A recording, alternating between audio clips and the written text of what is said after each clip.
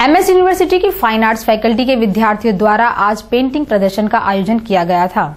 महाराजा सयाजीराव विश्वविद्यालय की fine arts faculty के विद्यार्थियों द्वारा बनाई गई पेंटिंगों का आज फैकल्टी में ही प्रदर्शन किया गया था, जिसमें विद्यार्थियों की विभिन्न कृतियों को देखकर उनकी कलाओं को प्रोत्साहित किया गया। मैं सुनैना हूँ और ये एम एस यूनिवर्सिटी की गैलरी में हम लोगों ने शो रखा है। समीशा स्टूडियो के कुछ आर्टिस्ट ने ये शो रखा है ग्रुप शो है।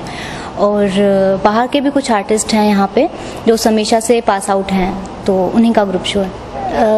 ये बस मिक्स मीडिया को लेके काम है, सबका अलग अलग है स्कल्पचर्स भी हैं और पेंटिंग्स भी हैं ड्राइंग्स हैं सभी है मिक्स और सबका थीम अलग अलग है मेरा काम है, मैंने कुछ ड्राइंग्स बनाई हैं ट्वेल्व छोटा छोटा